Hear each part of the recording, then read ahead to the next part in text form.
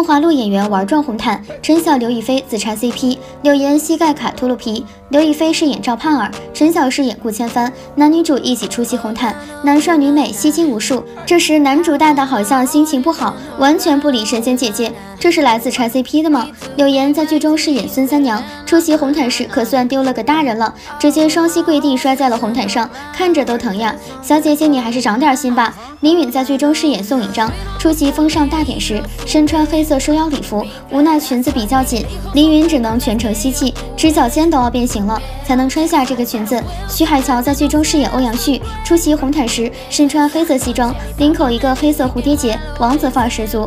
红毯上温暖冷酷。表情切换自如，一秒化身狠毒公子。宝剑锋可谓是老戏骨了，在剧中饰演皇帝，出席活动时身穿黑色西装出场，整个人干净利落，丝毫不拖泥带水。戴旭饰演池衙内，出席活动时别具一格，身穿运动服，现场和田雨老师来了个魔性假腿舞，就像小孩一样，两人真是笑不活了。杜一鸣饰演雷静，和好兄弟季春华一同踏上红毯活动，两人妥妥的大佬出街，一般人真不敢惹。但是如今却再也看不到两人同台了。